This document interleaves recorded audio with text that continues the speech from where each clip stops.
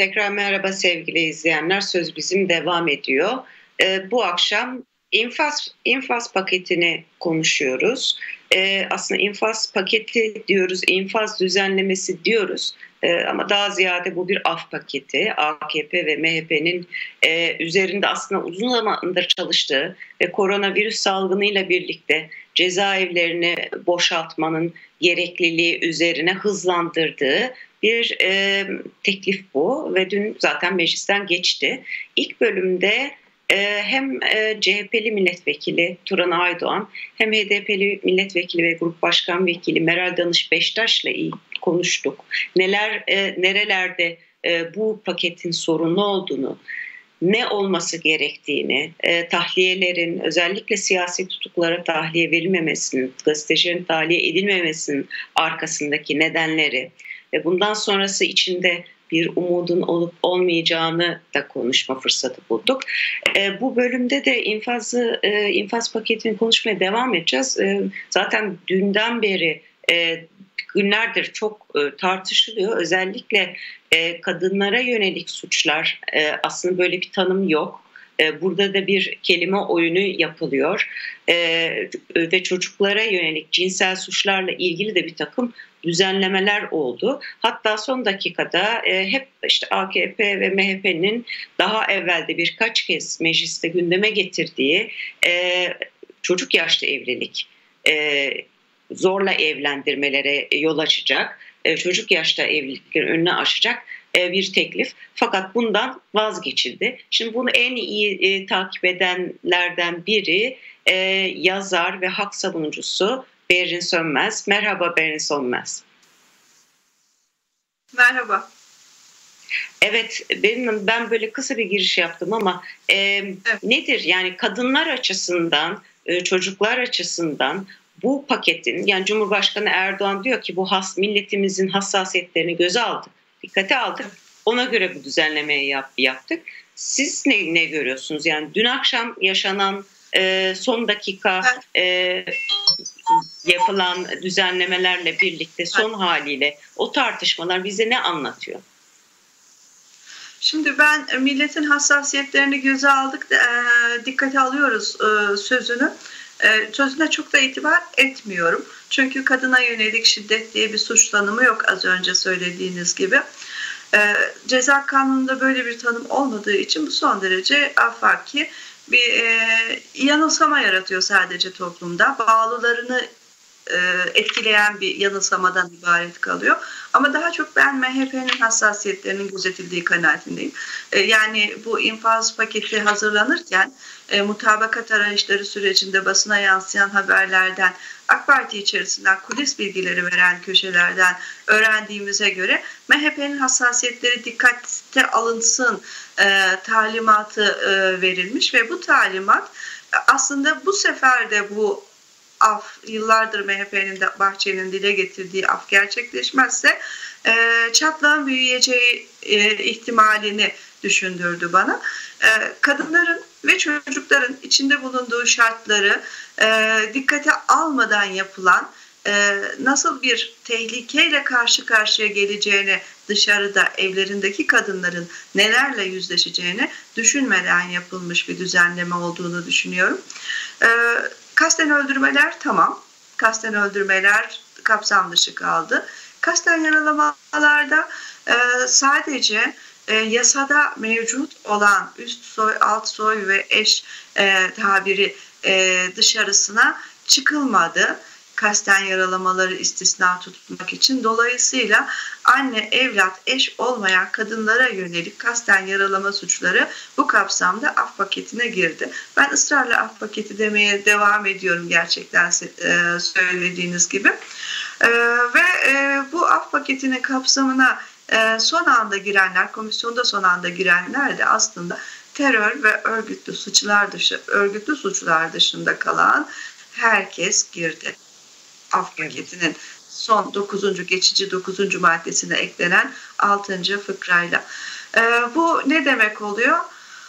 E, örtülü af demek oluyor bu. Ben öyle yorumluyorum. Bu bir örtülü af. Kimlere örtülü af? Cinsel suçlar, çocuk istismarı dahil, cinsel suçlar, bu örtülü affa dahil edildiler. Açık evet, ama bir yandan e, AKP vekilleri de bunu reddediyor. Yani böyle bir şey yok. Evet. İşte e, cinsel evet. istismarla ilgili hani biz böyle bir düzenleme yapmıyoruz gibi bir iddia evet. da var. Bu, tartışmalara da yansıdı. E, onları aktarabilir misiniz? Meclis tartışmalarına yansıdı gerçekten. Özellikle e, Gamze Taşçıyer'in ve Meral Danış Beştaş'ın meclisteki bu konudaki e, konuşmalarına e, çok ciddi tepkiler geldi. E, hayır böyle bir şey yok demediler aslında. Hayır çocuğun cinsel istismarı suçu e, kapsam dışı demediler. Tunç, Yılmaz Tunç, ondan sonra MHP Grup Başkan Vekillerinden hmm, soyadı Bülbül, Muhammed ismini hatırlayamadım şimdi. Bülbül karşı çıktı. E, Özlem Zengin karşı çıktı. Fakat hiçbirisi çocuğun cinsel istismarı suçu kapsam dışı demediler burada. Ne dediler? Covid iznine dahil değil dediler. Covid izni dediğimizde açık cezaevindeki hmm. mahkumlara aylık 7 gün olan izin haklarını 2 e, ay birleştirerek vermek. Buna Covid izni dediler. E, ve bu 2 aylık izin gerek duyulduğunda bakanlık tarafından 3 kere 2 ay olarak verilebilecek. 30 Eylül'e kadar verilebilecek bu şekilde. Yani Şimdi, aslında bir çeşit tahliye e, e, bu. Hani izin falan değil bir çeşit tahliye oluyor değil mi? Evet ya bence de öyle çünkü e, şu anda hatırlamıyorum paketin e, maddelerinden birisinde e, salgın nedeniyle cezaevinden izinli çıktığı halde cezaevine salgın nedeniyle dönemeyenlerin takibinin yapılmayacağına dair bir hüküm var paketin içerisinde. Şimdi hangi maddede olduğunu hatırlamıyorum. Bu çok önemli bir şey. Yani kaçın gidin kurtulun anlamında bir şey geliyor. Devlet sizi takip etmeyecek. Açık cezaevine cinsel suç faillerine, kadına e, her türlü e, kasten yaralama, alıkoyma, tehdit gibi suçları içeren herkesin açık cezaevine geçme hakkı var. Açık cezaevine geçmek demek açık cezaevinde ayda 7 gün izinli olmak demek. Ee, bir kere bu kesinlikle var. Bu, bu insanlar evlere dönebilecekler. Burası çok açık. E, ve buna da hiçbir milletvekili açıkça hayır demedi. İki ay olmayacak izinleri evet. anlamında söylediler sadece bütün o karşı çıkışları. Dolayısıyla bu aslında gerçeği ikrar. Zımnen kabul etmiş oluyorlar söylenenleri. E, Meral Hanım bunu mecliste gayet güzel onları köşeye sıkıştırarak başardı. Zımnen itiraf ettirmeyi başardı. O yüzden e, kendisine de ayrıca teşekkür ediyorum. Bir de burada ne diyeyim? E, Gamze Hanım çok benzer şekilde söyledi. Gerçekten kadınları korkunç bir şiddet bekliyor aslında şu anda. Kadınlar zaten e, şu an e, şiddet tehdidi altında yaşıyorlar. Çünkü kadın örgütlerinin ihbar hatlarına gelen e, çağrıların yüzde kırkını e, oluşturan son şey, e, son günlere ait bilgi. İçeriden çıkarsa ben ne yapacağım diyor kadınlar kadın dernekleri. Çok korkuyorlar hayatları için korkuyorlar. Kadınların yüzde kırkı kendisine zarar veren eril şiddet failinin içeriden çıktığında kendisinin ne yapacağını soruyor. Bu ciddi bir korku ve tehdit kadınlar için. Yani bu af paketi e, hiç kimseyi memnun etmedi evet. Yanlış bir paketti zaten baştan itibaren e, hiçbir şekilde e, hakları korumaya korumayı gözetmeyi düşünmeyen bir paketti. Ama diğer taraftan dışarıda olan kadınlara büyük bir tehdit oluşturdu. Bunu bir kere görmemiz lazım. Bu kadınlara karşı neler yapılacak? Nasıl korunacak? İçeriden failler çıkacak. Şimdi yasalaştı. İçeriden failler çıkacağı zaman bu kadınlar nasıl korunacak? Bunu düşünmemiz lazım. Tamam bunu düşünelim ama bir bakıyoruz ki HSK bir genelge yayınladı ve 6284 kapsamında tedbir kararlarının korona COVID-19 salgını dikkate alınarak uygulanması talimatını verdi. Bu ne demek? Evden uzaklaştırma kararı vermek için e, savcıların eli kolu bağlanıyor demek bu bence. Evden uzaklaştırma kararı verilmediğinde e, şeyi söyleyeyim duvarda çok güzel bir yazı yayınlanmıştı. Arap dünyasından, Arap basınından haberler olarak.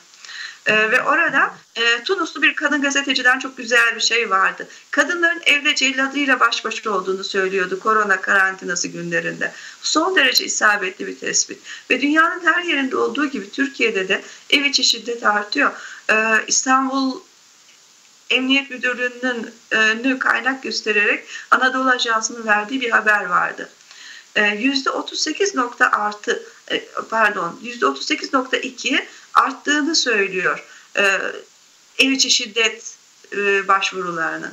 Bu son derece önemli. Tamamen karantina dönemine dair bir Evet, karantina dönemine ait %30'un üstünde bütün ülkelerde arttığını biliyoruz ev içi şiddetin. Bizde de %38.2 arttığını İstanbul için söylüyor. Anadolu Ajansı söylüyor, kendileri söylüyorlar yani bunu.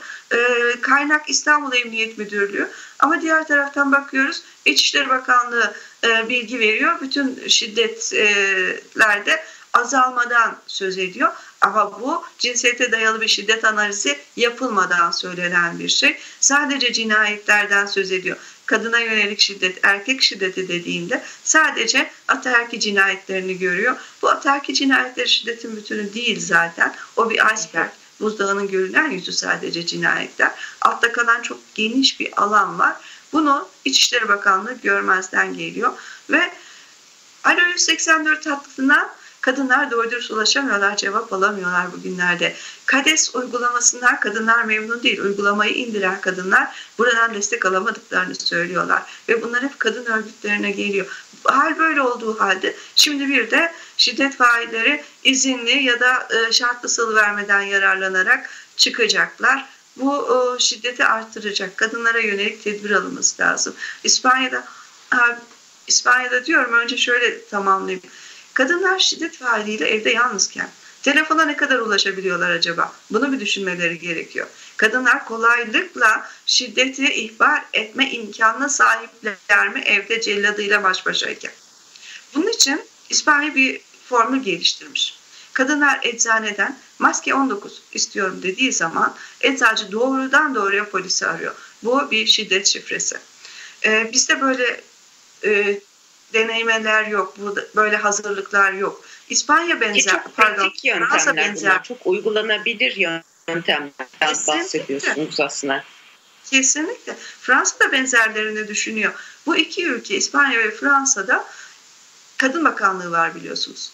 Kadın ve Eşitlik Bakanlığı'na ne kadar çok ihtiyacımız olduğunu bugünlerde daha iyi anlıyoruz. Tamamen kadın perspektifinden e, bakabiliyorlar konuya ve tedbirler geliştirebiliyorlar. Bizde Aile Bakanlığı'nın böyle bir şey yaptığı yok. Aile Bakanlığı korona günlerinde şiddet ağzına bile almadı zaten. Hiç duymadık bakanın ağzından böyle evet. bir şey. Evet yani böyle büyük sıkıntılar var. Bunların önlenmesi için tedbirlerin alınması gerekiyor. Sadece İçeriden suçluları salıvermek de yetmiyor. Olmuyor tabii ki. Ee, bir de hali hazırda şu anda da e, şiddet gören ve şiddet görme potansiyeli olan evin içinde kapalı kalmış e, kadınlardan bahsediyorsunuz. Bir yandan da e, Berin Hanım gibi böyle e, bu cinsel istismarla ilgili daha doğrusu evlilik e, affı diyeyim yani e, evlilik yoluyla e, çocuklara karşı suç işlemiş e, faillerin affedilmesi... meşrulaştırıyorlar. Evet. Evet, siz daha güzel söylediniz. E, ona yönelik de bir e, önerinin geldiği dün gece e, fakat bundan vazgeçildiği konuşuldu. E, siz ne biliyorsunuz buna dair? Yani bu, bu devamlı olarak zaten e, ısıtılıp ısıtılıp önümüze e, konmaya çalışılan bir şey ve bu korona günlerinde bunun da mı fırsatı e, aranıyor? Yani fırsatının arandığına hiç şüphem yok. Ee, dün akşam saatleri, geç saatlerde meclis görüşmelerini izlerken bir yandan da sosyal medyaya gelen e, bir metin var karşımızda. Bu metni gördüğümüz anda zaten 2016 yılındaki gece yarısı önergesini hatırladık. Çok benziyordu. Fakat o çok benzediği 2016'daki önergeden çok çok daha tehlikeli. Çünkü 2016'da sadece geçmişe dönük bir af öneriyorlardı. Bu seferki metin okuduğumuzda gerçekten e, anayasal suç e, diyebileceğimiz hükümler içeriyor.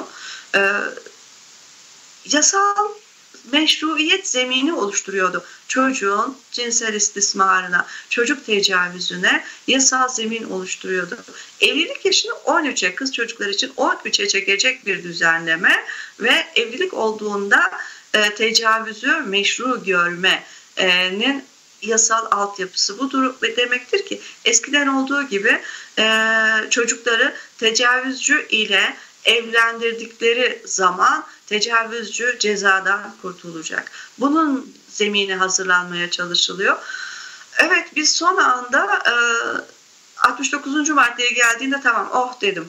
Yani yürü, yürürlük ve yürütme maddelerine geldiğinde tamam bunu yapamayacaklar, getiremeyecekler bu önergeyi dedim.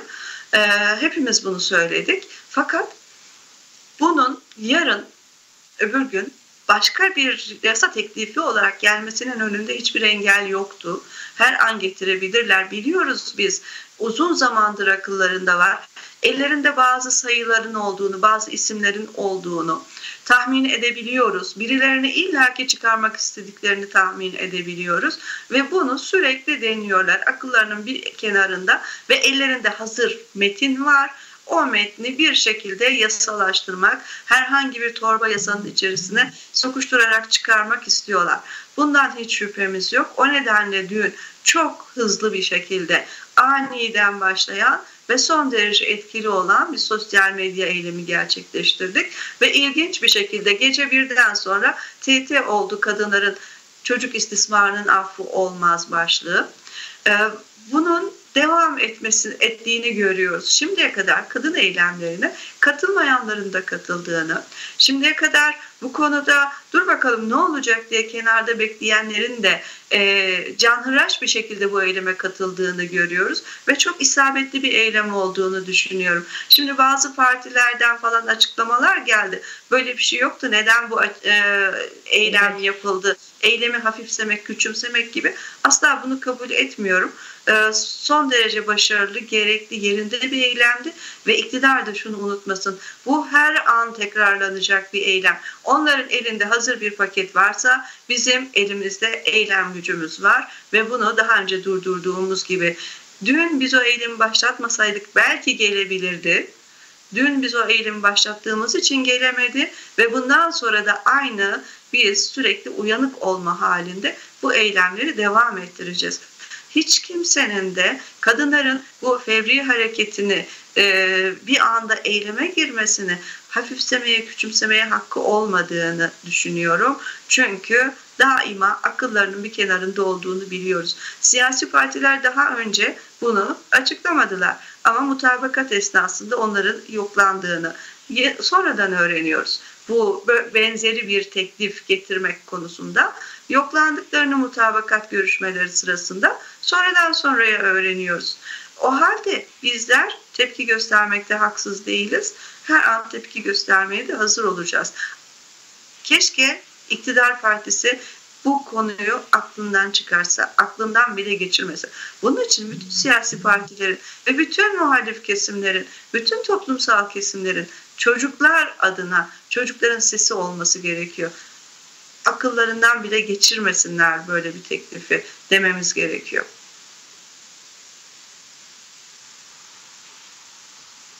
önemli şeyler söylediniz e, Berin Sönmez. E, kadınlar ve çocuklar için bu e, tekrar tekrar e, gündeme getirilen e, mesele konusunda gerçekten yani cinsel e, istismarı hatta tecavüzü e, meşrulaştıracak e, korkunç e, sonuçlara yol açacak e, bir düzenleme her an belki tekrar gelebilir. Belki son olarak tekrar e, e, şu anda kadına yönelik şiddetle ilgili, artan şiddetle ilgili karantina günlerinde, izolasyon günlerinde belki bir önerimiz de bir son bir şeyimiz de olabilir.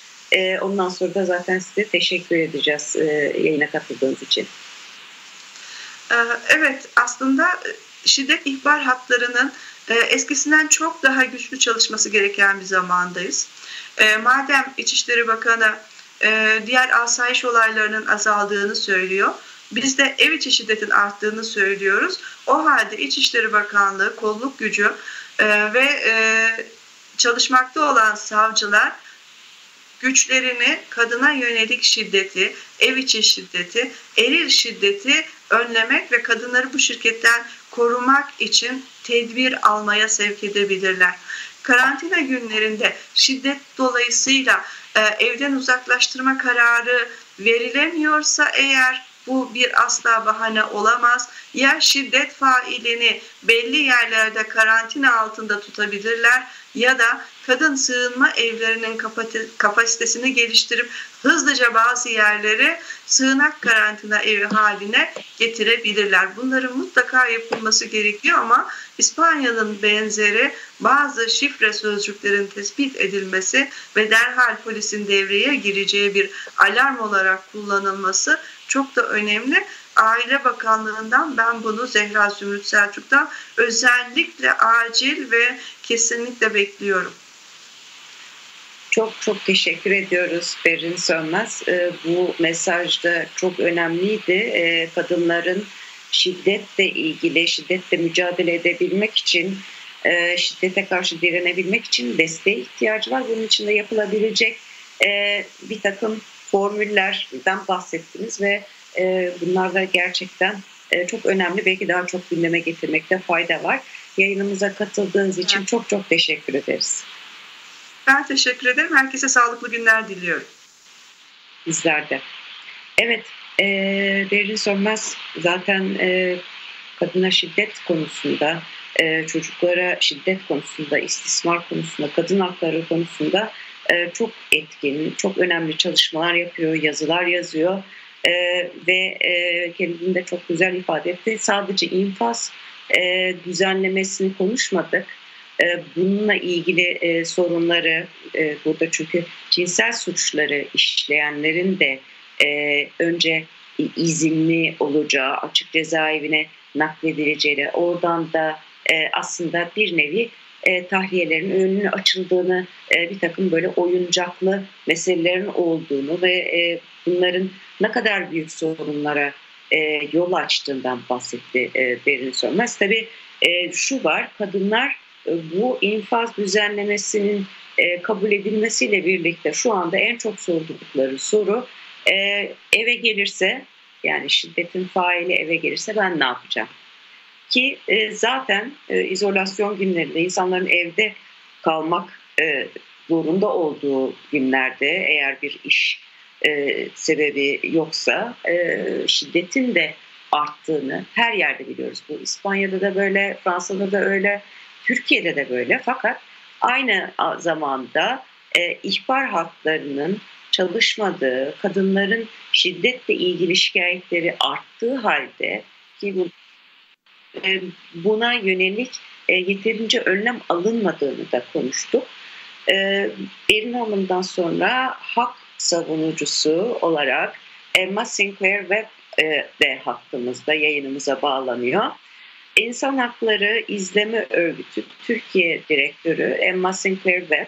Merhaba, yayınımıza hoş geldiniz. Hoş bulduk, merhaba. Ee, sevgili Emma, biz ilk bölümde e, CHP ve e, HDP'li vekillerle e, zaten infaz düzenlemesini konuştuk. E, Berin Hanım'la biraz daha bu infaz, daha doğrusu af paketi diyelim. Çünkü e, belli kesimlere yönelik e, bir e, belli hükümlere, hükümlere, belli suçlara yönelik e, bir kapsamı var. Kadınlar açısından neler e, getireceğini konuştuk ama e, ben tabii şunu merak ediyorum. E, sizler hak savunucuları olarak dünyanın e, pek çok farklı yerinde de e, bu mücadeleyi veren e, hak savunucuları olarak Türkiye'deki bu e, çıkan son e, af paketini nasıl değerlendiriyorsunuz? Ya maalesef yani bu büyük maratondan sonra e, görüyoruz ki e, paket e, aynı ilk e, tasarı gibi çıktı. E, bazı küçük düzeltmeleri yapıldı ama çok az. E, yani adalet ve eşit, eşitlik ikilerinden çok uzak bir e, düzenleme. Ee, ve ne yazık ki e, bu fırsat iyi kullanılmadı. E, öyle görüyoruz. E, yani e, bu e, paket tabii ki geçen sene e, hazırlanmış olan bir pakettir. E, AK Parti ve MHP birlikte çalışmışlar ve e, kendi e, e, tabanı için e, hazırlamışlar paketi. E, sonuç olarak yani Covid-19 yani korona, korona e, virüsü ilgili e, hazırlanmış olan bir paket değil. E, ve e, yani böyle yası e, düzeltmelere bakınca şey çok az e, e, atıf veriliyor zaten e, salgın kelimesine ya da e, e, korona virüsüne. E, ve o tabii ki büyük bir eksiklik yani. Çünkü e, bütün mahpusları çok büyük risk altında kalıyor Türkiye'de. E, yani Avrupa Konsey e, rakamlarına göre Türkiye cezaevlerinde en kalabalık cezaevlerinde e, olarak sayılır e, bu e, orta bu e, dönemde. E, ve gerçekten e, biliyoruz yani bizim araştırması var bu konu ilgili. Bazı koğuşlarda yani e, 8 kişi olması gereken koğuşlarda yani 25-30 kişi e, bulunuyor yani. Bu çok e, yani böyle e, sosyal temas çok yakın yakın birbirini çok yakın temas içinde olan kişiler bunlar. Uzaktan kalmak ya da böyle yeterince kadar temizle, temizlik malzemeleri kullanmak e, maskeler takmak, bütün bu tedbirler falan fazla alınmıyor e, cezaevlerinde. Bizim e, yaptığım araştırması öyle gösteriyor, çok açıkça gösteriyor.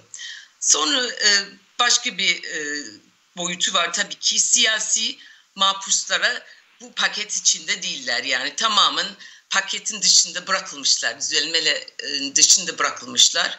Bu büyük bir haksızlık e, biliyoruz. Yani özellikle gazeteciler, e, insan hakları savunuculara, e, siyasetçiler de bu, bu hiçbir şekilde bu düzenleme içinde değiller. Onu biliyoruz.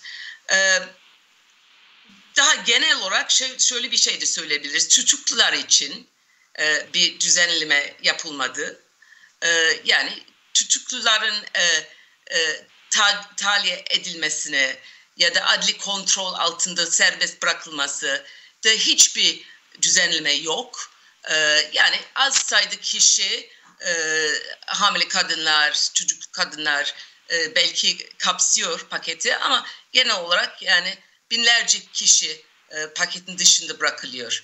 E, bu e, o bakımdan e, kamu vicdanlığından çok uzak bir düzenleme e, ve e, sorun devam edecek. Başka evet. bir boyutu var yani e, hasta mahpusları e, onlardan da evet. biraz bahsetmek istiyorum. Ben de onu soracaktım. Tamam evet buyurun. E, genel olarak e, ya bizim yaptığım araştırmamıza göre yani yüzlerce çok ağır hastalar var cezaevlerinde. E, e, başta insan Hakları e, Dernek e, ve özgürlük için e, e, e, Hukukçular Derneği ya o listeler çok uzun listeler hazırlamış aslında ve hükümet gayet iyi biliyor e, kim e, e hasta olduğunu biliyorlar. Yani kronik akut hastalar sayılar çok çok e, kapsamlı. E, biz biz sadece 14 e, tane vakalara baktık ve 10, 14 kişiler e, hem onların kişisel öykülere, kişisel tarihleri falan da baktık. Ve şey bazı vakalar şöyle bir şey de gördük. Yani aslında adli tip raporları var. Bu kişi tek başına cezaevinde kalamaz, kendine bakamaz diyen raporları var. Ama buna rağmen e, ceza e, yani infaz hakimlik ya da e, Cumhuriyet Savcısı, e, savcısı e, hiçbir zaman izin vermiyor o, o kişilerin ev hapse e, dan faydalanmak ya da bir alternatif bir tedbirden faydalanmasını e, genel olarak e, kabul edilmedi bugüne kadar. Ve bu yeni pakette gene aynı şekilde bu kişiler e, yani hiçbir e, maddeden faydalanmayacak e, görüyoruz. O büyük bir sıkıntı ve gerçekten e, şöyle bir şey şey de sormak lazım. Bu paket e, yani kamu sağlık ilgili e, ne yapıyor, ne getirecek? Ben tabii ki özellikle terör suçlulardan bahsediyorum. Terör terörle mücadele yasasından yargılanan kişiler arka planda başka boyutları var. Onlar bir sürü yani e, adil olmayan yargılamalardan geç, e, e, geçtiler geçmişte. Bazı kişi gerçekten 25 sene, 30 sene kadar cezaevinde kalıyor e, ve e, yani hiçbir şekilde e, tekrar e, eline at, e, alınmadı onların e, dosyaları. E, bu gerçekten büyük bir sorun. Bu kişilerin arası e, kanser hastaları var, e, kronik ve akut kalp hastalık e, hastaları var e, ve e, koronavirüs için e, gerçekten e, yani koronavirüsler onlar için büyük ölümcül bir e, risk e, onlara bırakıyor yani. Peki e, sizce tabii şu anda bu koronavirüs nedeniyle herkes yani her ülke, her kurum e, müthiş bir e, telaşın içerisinde. Hal böyleyken Türkiye'den çıkan bu e, af paketi e, Avrupa tarafından e, ya da bazı kurumlar tarafından e, nasıl değerlendirecek, nasıl karşılanacak e, ya da bir tepki gösterilmesini bekliyor musunuz diye sorayım.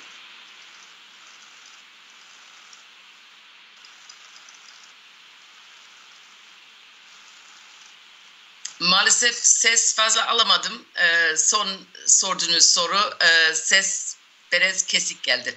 Tamam yani bir tepki e, Avrupa'dan, kurumlardan, hak örgütlerinden e, bir tepki ge- gelir mi Emma? Nasıl bir tepki e, bekliyoruz? Ee, ya bir bakımdan e, tabii ki her ülke kendi sorunlarla uğraşıyor şu an. E, maalesef e, bu e, koronavirüs e, olayı onu getirdi. E, ama e, şöyle bir şey fark ediyoruz. E, farklı ülkelerde yani bazı mahpuslar serbest bırakıldı ve Avrupa Konseyi e, çok net bir şekilde e, tutuklu olanlar e, yani az süre, az ceza süresi kalan kişiler bir an önce hapishane hapis cezasına karşı başka alternatif sunulması gerekiyor diyor.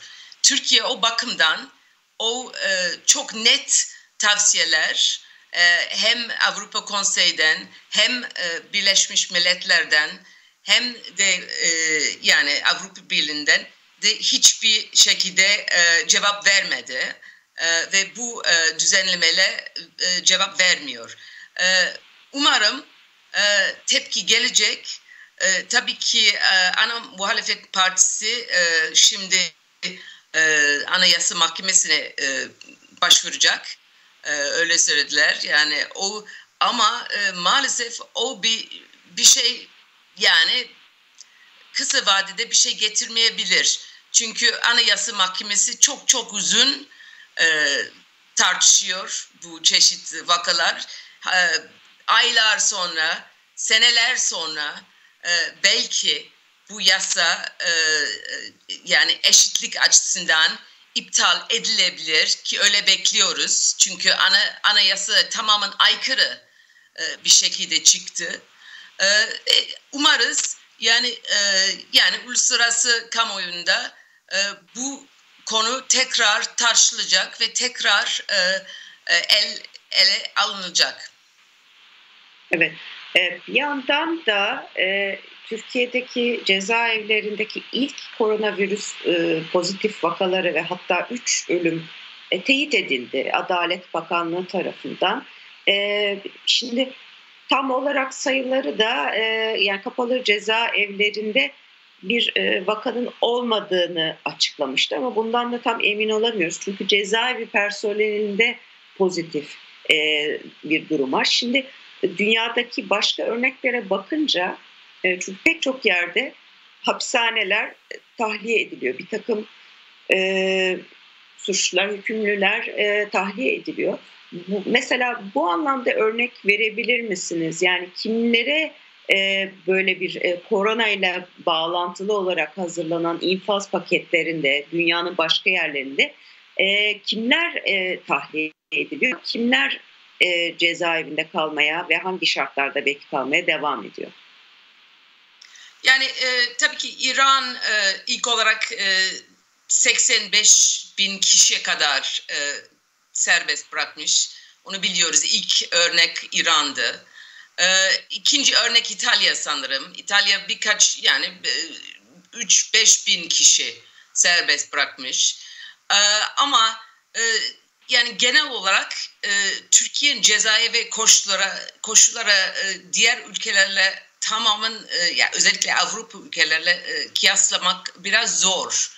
Çünkü o kadar kalabalık bir ceza, cezaevi nüfusu var ki e, böyle bir şey bulamazsınız başka birçoğu e, Avrupa Konseyi ülkelerinde. O yüzden direkt bir kıyaslama yapmak zor oluyor. Ama şöyle bir sorun var ki gene Türkiye'de çok farklı bu bakımdan. Terör, terör suçları çok çok fazla Türkiye'de. Türkiye ma- Ama... maalesef bir, belki bir dünya rekor e, kırıyor o konuda. E, yani herkes aynı torba e, konuluyor. E, terör tanımı yani, çok geniş olduğu için tweet e, ya binlerce terör teröristler var. Yani hepimiz evet. terörist olabiliriz. Evet. Böyle bir şey Gene... tabii hani Avrupa'da e, böyle bir şey yok. Yani terörle ilgili böyle bir tanım yok. Hiçbir farklı ülkelerin farklı uygulamaları var ama böyle bir tanım da olmadığı için bu kapsamda suçlu da yok.